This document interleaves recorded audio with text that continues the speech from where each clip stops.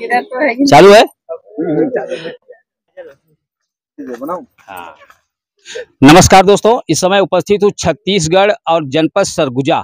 यहाँ पर जलजली ज़मीन जो है आप लोगों ने देखा भी होगा यूट्यूब पर काफ़ी फ़ेमस हुई थी। जिसको दिखाने के लिए यहाँ पर आया हूँ। क्या नाम है आपका? सूरज राजवाड़े। कहाँ से आए अंबिकापुर। क्या कहना चाहेंगे यहाँ के बारे में यही कहना चाहूँगा कि यहाँ बरसात में ज़रूर आओ घूमने के लिए। जी। मानसून का आपको मतलब मानसून जैसा आपको यहाँ ऐसा आनंद मतलब मिलेगा। आनंद मिलेगा। जी। और ठंड में भी अच्छा है और मतलब बहुत अच्छा जगह है। यहाँ पर छोटे छोटे बच्चों के लिए क्योंकि वहाँ जलजली ज़मीन में जाएँगे तो बच्चे असुरक्षित भी रहते हैं इसलिए बच्चों को यहीं पर ही सुरक्षित छोड़ दिया जाता है। अच्छा लगता है बच्चे यहाँ पर सुरक्षित भी रहते हैं छोटी छोटी गाड़ियाँ। देखिए जीविकोपार्जन का एक साधन भी है। यहाँ पर बच्चों को जब बैठाते हैं तो क्या सेफ्टी रखते हैं कि बच्चे सुरक्षित रहें? साथ में हम लोग जाते हैं भैया। साथ में जाते हैं। हम्म। और जो चलाना चाहता है वो खुद से भी दे देते हैं अपने से जाते हैं तो अगर कहीं दीवार वाल से टकरा जाएगी तो क्या करेंगे उसके? अब क्या करेंगे? अब अपने से ठोकाया जाएगा तो हम लोग को साथ में नहीं लेके जाएगा। आपको यही करना है कि आप अपने से कस्टडी से उनको छोड़ना नहीं है। हाँ। आपको गाड़ी पीछे पकड़ करके चलना है। आप क्या कहना चाहेंगे? क्या बोलना चाहेंगे? अपने खुद से राइड कोई कोई ज़बरदस्ती कोई पी खा के आता है जी। तो अपने पेल देगा तो उसको क्या कर सकते हैं हम लोग? बाद में लड़ाई करने लगते हैं। ज़्यादा बोल देंगे तो। नहीं तो इसका आपने यहाँ पर यहाँ के डीएफओ यहाँ के जो है आपने उनको बताया नहीं कि ऐसी ऐसी स्थिति होती है यहाँ पे लोग दारू का सेवन करके यहाँ पर आते हैं लड़ाई झगड़ा करते हैं ऐसा आपने उनको लिखित दिया? लिख के तो नहीं दिए हैं तो देना चाहिए क्यों? और हमारी तरफ़ से भी निवेदन है कि ऐसे स्थलों पर अगर आप जाते हैं तो वहाँ पे मदिरा का पान न करें और स्वच्छता का विशेष ध्यान रखें। यहाँ भी है। हाँ। जलजली का मज़ा ले रहे हैं ये जलजली यहाँ पर काफ़ी दूर दूर से लोग आते हैं और इसका आनंद लेने के लिए इस पे जब आप कूदेंगे तो जैसे गद्दे पर आप कूदते हैं वो आनंद आपको मिलेगा। कूद के जरा दिखाइए।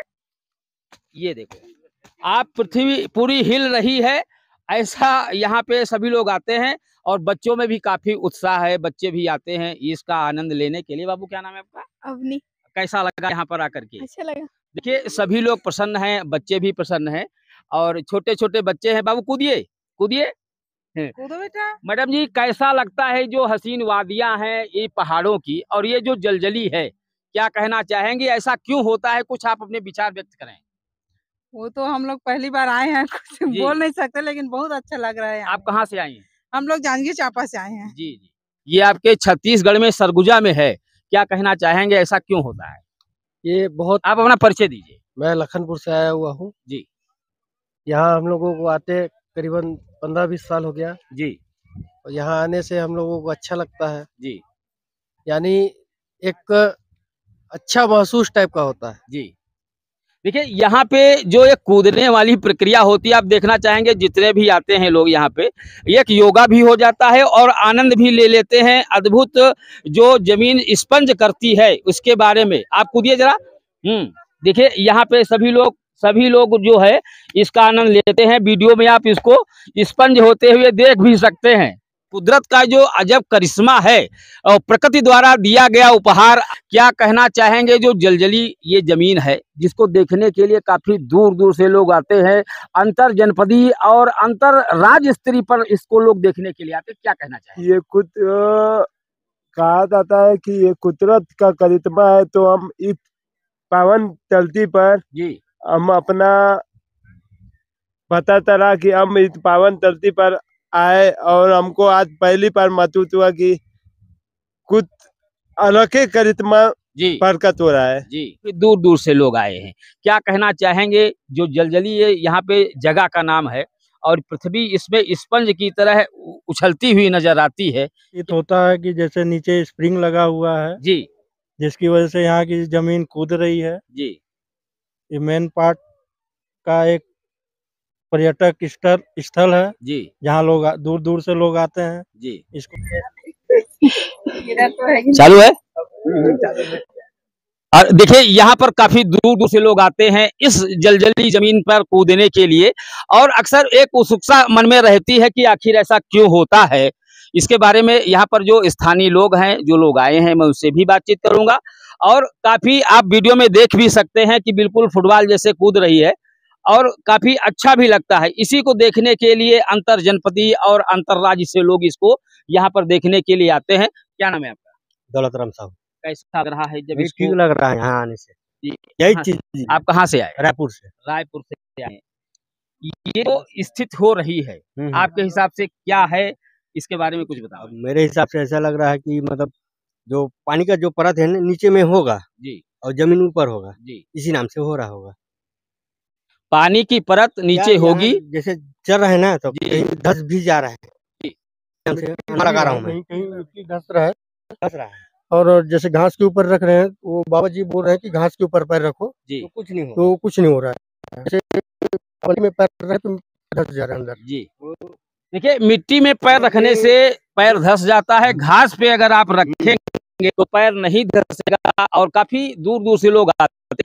सर जी क्या कहना चाहेंगे ऐसी स्थिति जनपद सरगुजा छत्तीसगढ़ में मिलती है, अन्यत्र आपको देखने नहीं मिलेगी। क्या कहना चाहेंगे इस जलजली ज़मीन ज़मीन यहाँ ये भगवान के है?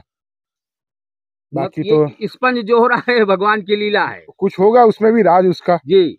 देखिए प्राकृतिक सौंदर्य है और है प्रकृति ने उपहार दिया है ऐसे लोगों को कि आप आवे और यहाँ पर आनंद ले। मैडम जी क्या कहना चाहेंगी? इतने में कैसा लग रहा है यहाँ पे? आप अच्छा लग रहा है। जी देखिए सभी लोग प्रसन्न हैं और इसीलिए आते हैं एंजॉय करने के लिए। मैं भी चाहूँगा देखता हूँ देखता हूँ।